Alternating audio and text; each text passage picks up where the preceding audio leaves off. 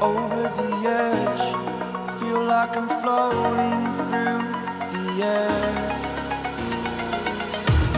The pain I felt is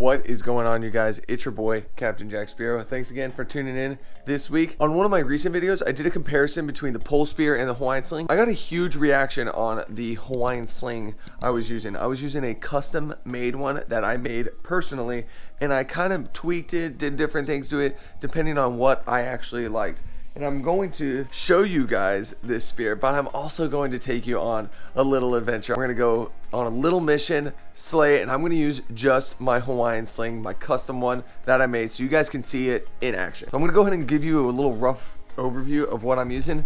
This right here is my Headhunter Predator, and I'm gonna bring that for Matt in case he wanted to try to, you know, rock that, use it a little bit. But this is the thing I was using in that video. Really, the only difficult thing to get my hands on was the shaft. The shaft is tethered. It has 400 pound mono that I have attached to the little slide ring, and the slide ring stops on the back of the spear and you can get this they, i know headhunter makes them uh, you can maybe look for them online uh, but i'll try to find them and i will link them in the description below it's a standard wooden dowel hawaiian sling and the reason i do this cable is so it kind of bungees out and stays out of my way whenever i'm going after a fish a lot of times i tried to hook just the line straight up to the little slide ring and that was a disaster the line would get all bunched up. Uh, it would get tangled and caught on things. But with the mono, the mono doesn't get really caught and tangled or anything like that. So I have about six feet of extra line and it just tethers out there and just hangs out there. You'll see in some of my videos. And the way I did the reel, uh, shout out XHale Spear Fishing, my boy Eric really hooked it up. We got little screws and I got the smallest reel I could find and screwed it into the wooden dowel. And actually what I did is originally I didn't have this little front piece and the problem I was running into was it kept getting wrapped on itself no, matter what reel it was this thing whenever I shot something big it would wrap around itself and then I'd have to hook off my belt reel onto this uh, bungee and let my spear go and that was just a big hassle. But yeah, this is what I'm rocking with. You guys will see it in action. I'm gonna take it out, maybe shoot some sheep's head, maybe cubera. This thing seriously has slayed some fish. I will see you guys in a couple minutes out there on the water with my boys slaying it up. All right, you guys, so we're out on the boat. We got Dylan, Matt, and we're gonna go ahead and uh, do some inshore slaying. No way we're taking this offshore. It is blowing like crazy. Hopefully we get into some fish and I'll get to show you guys that little sling that I'm using.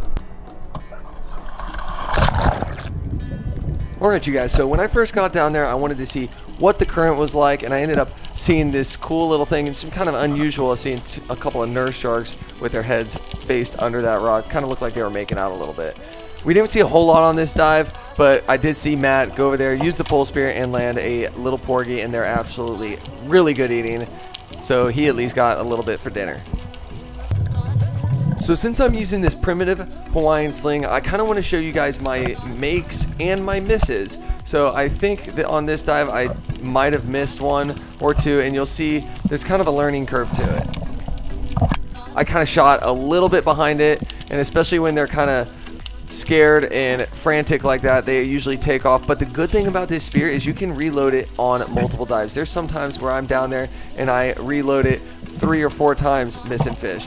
You can see Matt kind of snuck that one in there. It was a really cool perspective that I had, and he landed a, well, actually our first sheep's head of the day, and it was a really nice size.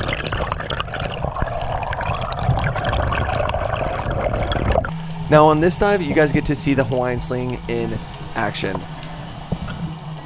I kind of go down there nice and relaxed, let the current take me, making sure my tethered mono is off on the side, and I see a big school of fish, and I had a really good feeling it was sheep's head, and sure enough, it was.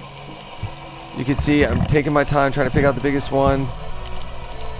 Landed a good shot. It kind of fooled me because I almost thought I spined him, but I didn't. He had a decent amount of life left. But that is my first fish with the Hawaiian sling in the box. You can see how it loads nice and easy. Super easy to do underwater even if you are in a panic. So this dive is really cool. It's kind of a long one. I'm just drifting across the bottom. I kind of see some little bit of sea life. I'm making sure that tether line is not getting caught on any reef. I'm making sure I'm really cautious of that. I see a nice little baby hogfish there, which was kind of cool to see. And I end up taking a really far shot on this sheep's head coming up. And you guys need to make sure you pay attention. I slow it down a little bit for you, but you can see how much I lead the fish because I know the spear has some time to catch up to the fish. And that used almost all of my shooting line. You'll get a little slow-mo pick right now. You can see how far in front and above I'm aiming and you just see the fish meet up and you can kind of see him starting to wiggle and swim but it was just not enough to get away from the good old trusty Hawaiian sling. So this dive you can really take a lot out of it. You will see me shoot and miss and also reload and shoot again and actually land the fish.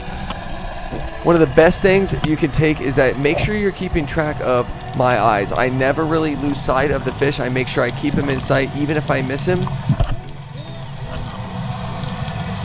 You can kind of see me kind of using this boulder as protection. Get a shot. And he turned right. I was leading him a little bit too much. He wasn't really spooked, so I should have known.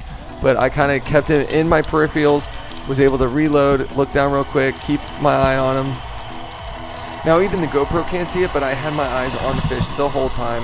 Was able to reload and get another shot. And that's one huge advantage to the Hawaiian Sling is being able to quickly reload multiple times on one dive, making sure you're able to land fish.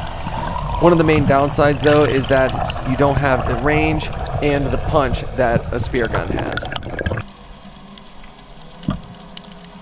So like I said before, I really wanted to show you guys my misses and you can see how close I am to getting these fish but it's just that little extra movement that that fish has to juke the spear and when you start using Hawaiian slings you really have to anticipate the fish a little bit better kind of guess what direction they're moving how fast they're going and this kind of was a Hail Mary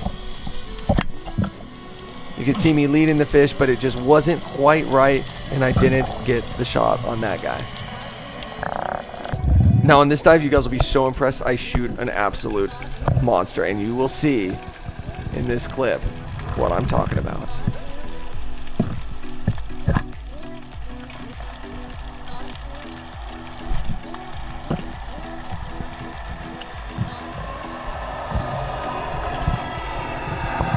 I shot a monster. I shot a monster, bro. I shot a monster. That monster, dude. That monster. Dude, people. Or I'll have to clean up after you and hone in my skills. So now we got Dylan in the water. We're diving in a new area. You can see there's some serious structure in this area. Dylan does a little swim through through these columns, looking for some cubera, some snapper, kind of anything he can find.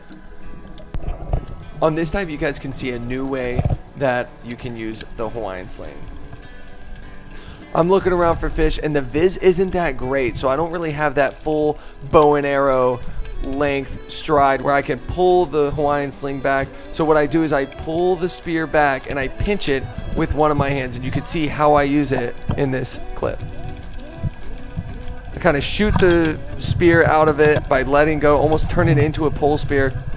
I don't have as much power, but it's something you can do if you have no other option. Something funny here, I kind of strung up the fish on my shooting line which caused me to miss that snapper. And also, I think he kind of juked me a little bit. In doing so, I turned around and saw that my sheep's head fell off my mono line and I had to go back and pick him up.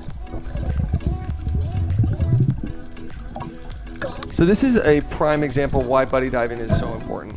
I saw that Dylan was kind of after something.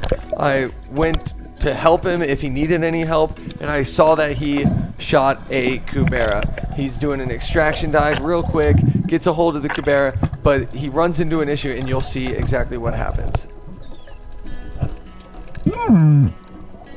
He goes to pull his gun out through this hole, but it got stuck. So he had to let the Cubera go. I was able to get my hands on him, and he was hanging on by just a thread. I get my knife out in case I need to brain him, but I looked at the shot. I was like, shoot, I can just take this thing out of the cheek right here. I have a really good grip on the fish, so I do so. And then I see my Hawaiian sling there, and I use it to brain the fish. So the Hawaiian sling can also be used to brain fish.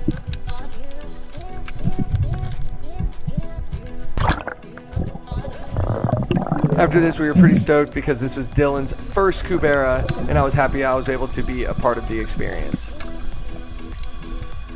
So we're slaying them. Dylan just got a nice little cubie. Matt caught this yesterday, so don't let him fool you. he caught it on uh, on hook and line. we slayed via diving. Now Maddie's here, going to try to shoot for some triple tail, fishing some buoys here.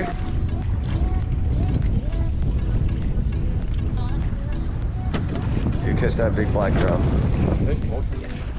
So no uh, no fish on the buoys, but we're gonna head in and I'll see you guys back at the dock. Sick little adventure with the boys. I'm super pumped. Dylan got his first Cubera. Yeah, made it happen. And I'm super pumped that Matt was able to take the pole spear and get it done. I was pretty proud. That was, uh, it's nice. And I highly suggest always, if you're diving something where you know there's gonna be fish and you get a lot of them, try to mix it up a little bit and shoot primitive spears. Uh, Whether it's a Hawaiian sling, pole spear, three prong, just mix it up, do something a little bit different, just so you're a good all-around diver, hunter, spear fisherman. And I'm telling you, whenever I shoot and miss a fish with my Hawaiian sling, it makes me a better hunter because I have to hold my breath longer and get down there, reload, do it again, all on one breath, and being able to land the fish, it's kind of a nice feat being able to do that with the primitive gear. And I also hope you guys liked the little uh, intro and showing you guys my Hawaiian sling setup. That thing is pretty sweet. I went by no instructions at all. I just did it, tried it, kept failing, brought it back to the drawing board and made sure I had a pretty sweet setup. And now, I mean, I love it. If you guys like this episode, go ahead and give it that thumbs up. If you're new, think about subscribing and I'll see you guys next week for another adventure. Later.